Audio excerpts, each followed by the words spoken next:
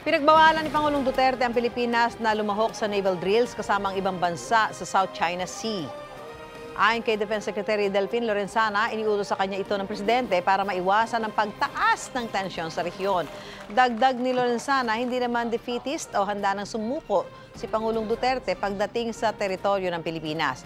Praktikal lang daw ang Pangulo. Hindi rin daw isinasantabi ng Pangulo ang karapatan ng Pilipinas sa mga teritoryo nito sa South China Sea. Pero nung kanyang State of the Nation address, sinabi ng Pangulo na mistulang inutil siya sa usapin ng teritoryo. Hindi raw kaya ng Pilipinas na makipaggiyera sa China. President Duterte has a standing order to us, to me, that we should not involve ourselves in uh, in uh, naval exercises in the South China Sea, except our national waters, the 12 mile 12 mile uh, distance from our shores.